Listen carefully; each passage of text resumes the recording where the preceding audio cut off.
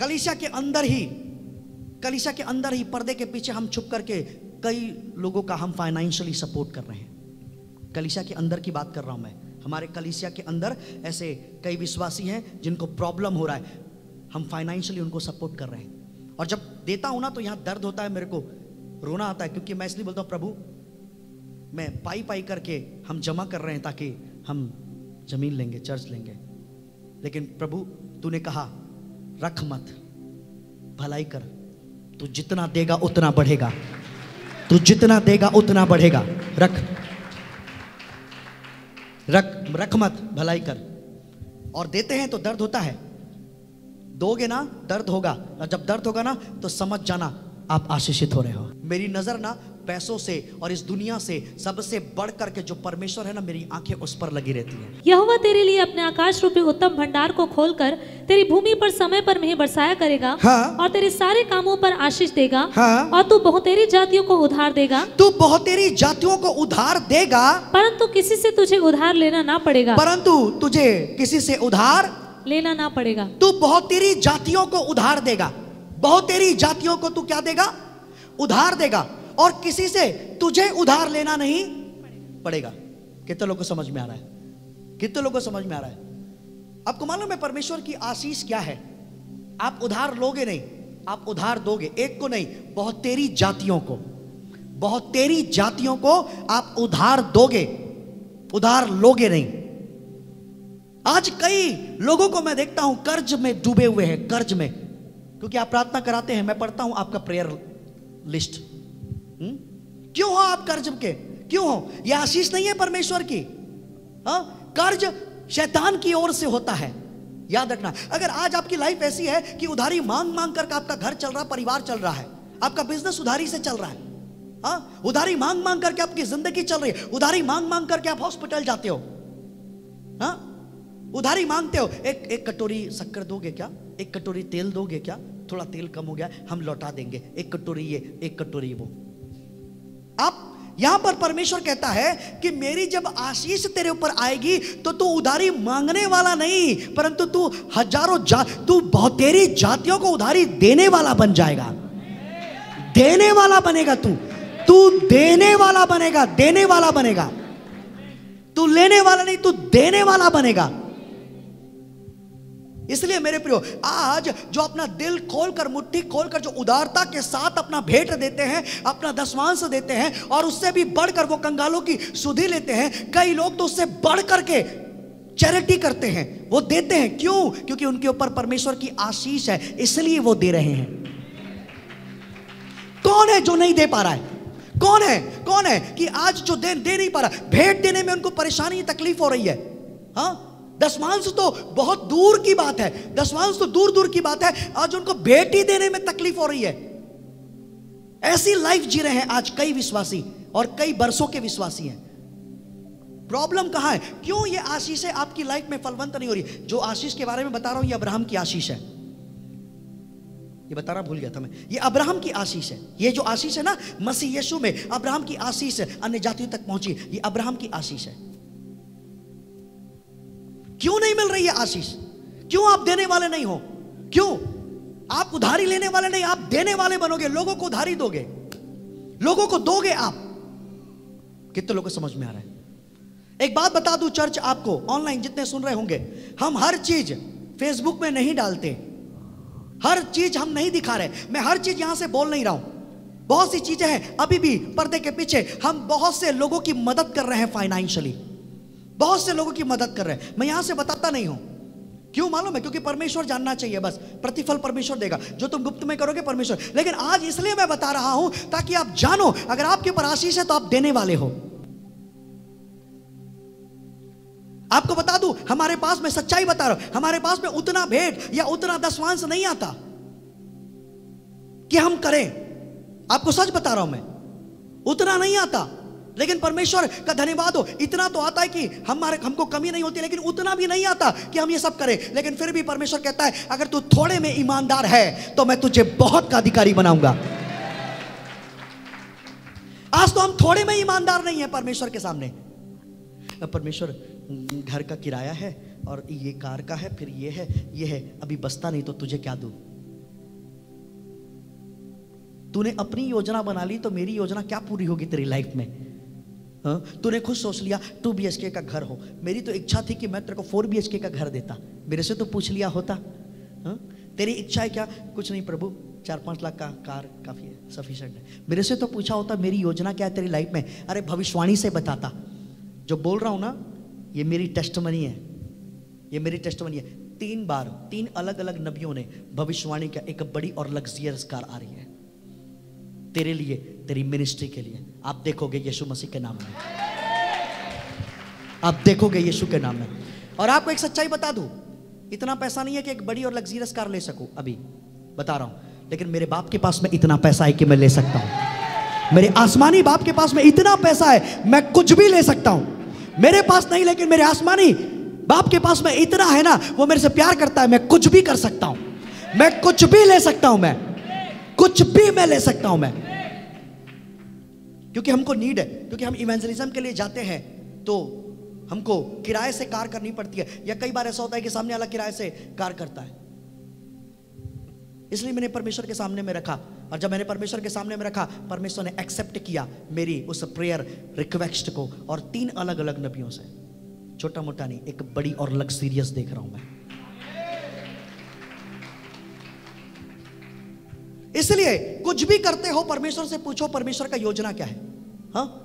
क्योंकि हमारी बुद्धि छोटी है, हम छोटा ही सोचते हैं और छोटा ही प्लान करते हैं। लेकिन परमेश्वर की बुद्धि हमारे जैसी नहीं है। वो हमारे लिए, अपने बच्चे के लिए, अपने बेटे, अपने संतान के लिए अपने जैसा प्लान करता है।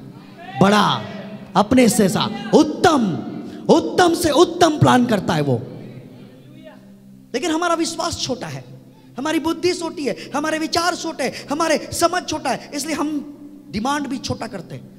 या कई बार अपने प्लान में हम कुछ ऐसा कर जाते हैं छोटा सा, उसमें भी हमको तकलीफ़ होती है फिर फाइनेंशियली कितों को समझ में आ रहा है? कितों को समझ में आ रहा है? हाले लुई यहाँ आपको समझ में आ रहा है? अपने विश्वास को बड़ा करो चर्च।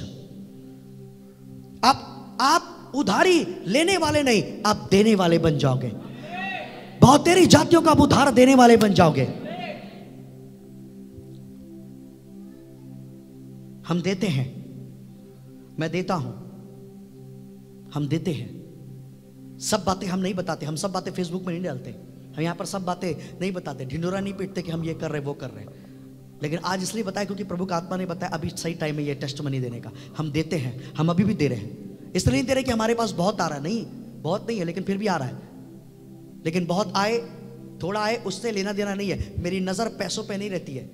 मेरी नज़र ना पैसों से और इस दुनिया से सबसे बढ़ करके जो परमेश्वर है ना, मेरी आँखें उस पर लगी रहती हैं।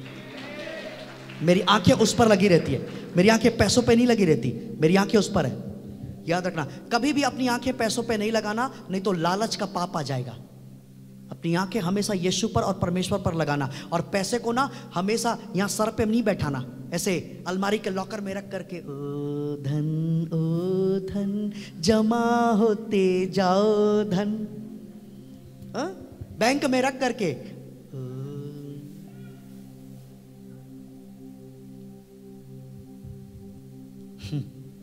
ओ एक वचन मेरे पास, एक वचन मेरे को अब भी प्रभु याद दिलाइए, मेरे संदेश का भाग नहीं था। हाँ? लेकिन प्रभु जैसा बोलता है मैं वैसा बोलता हूँ। देखो थैंक यू जीसस देखो नीति वचन उसका ग्यारह अध्याय हाँ? नीति वचन उसका ग्यारह अध्याय और उसका पहले चौबीस पच्चीस पढ़ो फिर छब्बीस पढ़ेंगे तब समझ में आएगा। ऐसे हैं जो छितरा देते हैं तो भी उनकी बढ़ती ही होती है।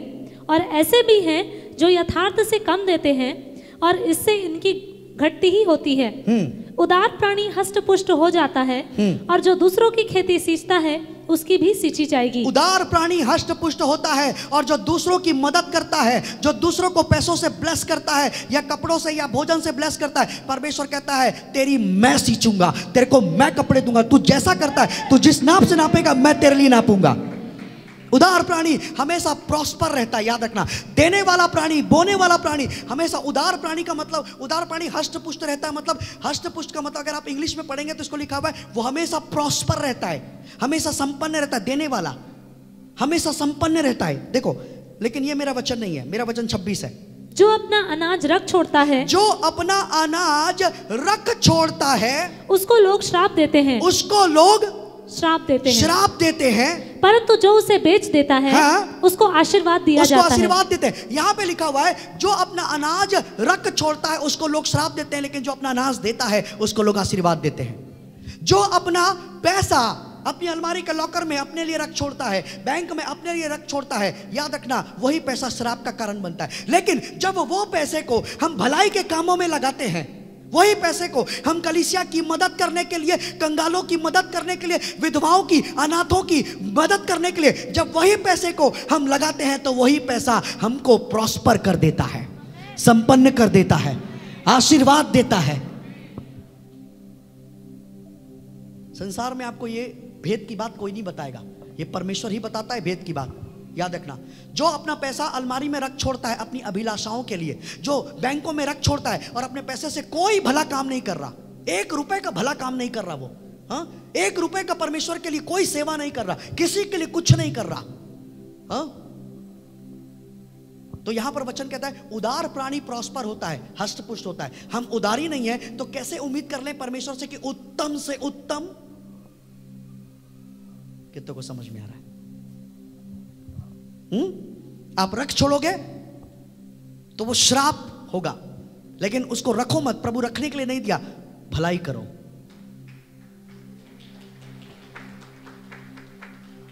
आपको एक बात बता रहा हूँ, दिल का बात बता रहा हूँ, प्रभु यहाँ पर उपस्थित है।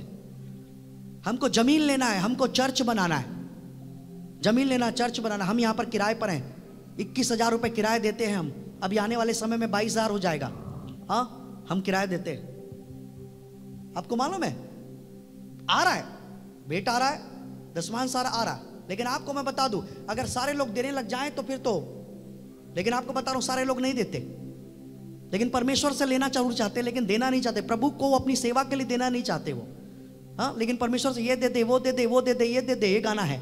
लेकिन परमेश्वर बोले कि तू भी दे दे, ये गाना नहीं प्रभु, आपका ये गाना पसंद नहीं आएगा। आपको एक एक सच्चाई बता रहा हूँ, आपको एक सच्चाई परमेश्वर यहाँ उपस्थित है। दिल का बात आपको बता रहा हूँ, क्योंकि कलीसिया हम एक परिवार है। We are family we are spiritual family इसलिए मैं दिल का बात शेयर करता हूँ आपसे। मैं परमेश्वर के सामने मैं रोता हूँ, प्रभु, मेरे को ज़मीन चाहिए, मेरे को भवन चाहिए। तू लोगों के हृदय को खोल कि वो दे, प्रभु। खोल उन लोग के हृदय को, देना सीखे, प्रभु। तभी तो उनके, तभी तो हष्ट पुष्ट होंगे ना। प्रार्थना होती है, ठीक है? ध्यान से सुनना। लेकिन उसके बाद में, जब किसी को कलिसिया के अंदर की बात कर रहा हूँ, मैं बाहर की बात नहीं कर रहा। मैं ये बात इसलिए नहीं बताता ना कि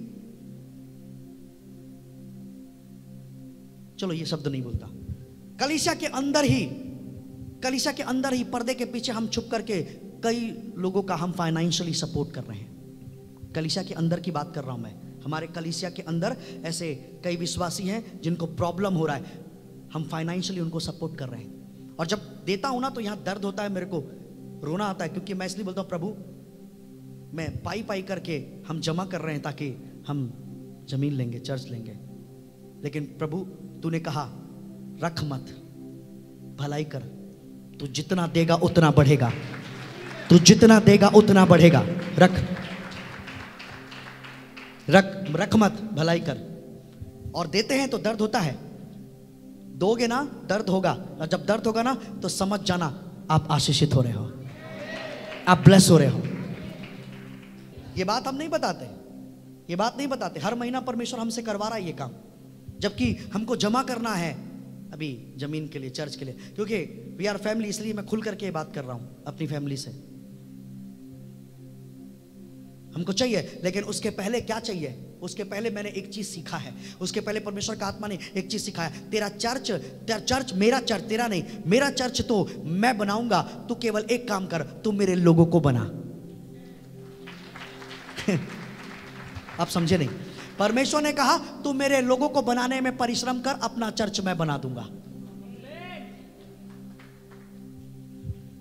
समझते तो ज़रूर ताली बजा के परमेश्वर की महिमा करते।